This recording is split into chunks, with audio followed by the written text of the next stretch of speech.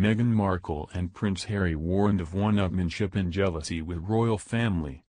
Meghan Markle has been accused of being jealous of other members of the royal family as the Duke and Duchess of Sussex were brutally slated by a royal expert. Meghan Markle and Prince Harry's attitudes to the public and the royal family have been picked apart by royal author Angela Levin. While speaking on talk radio, Ms. Levin insisted Meghan felt she had a need to be number one at everything.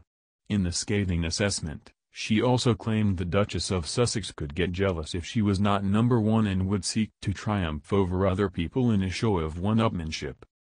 Ms. Levin also criticized Prince Harry and insisted his personality has changed significantly since being with Meghan.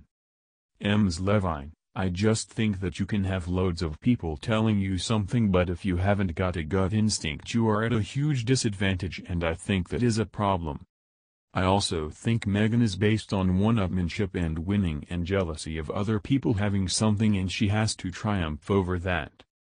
Ms. Levin clarified that she did think Meghan Markle also had many good character attributes as well. She continued, Meghan has got many talents. She is a very bright woman and she speaks well. But she has got a wish for being the number one in every possible area. She messes up because she doesn't understand the rest of us and what we think. Meghan has still got her gang of people who think she is wonderful but I think they are getting smaller and smaller and younger and younger. Ms. Levin also insisted Prince Harry and Meghan Markle's popularity was declining since leaving the royal family. The royal experts argued the pair were lacking common sense in their engagements with the public. She said, the Duke and Duchess are going down with the question, do you like Harry and Meghan? I think it is because they lack common sense, Harry and Meghan lose it because they don't think broadly. They don't think will someone be hurt if I do this, have I got to do this before I tell other people what to do.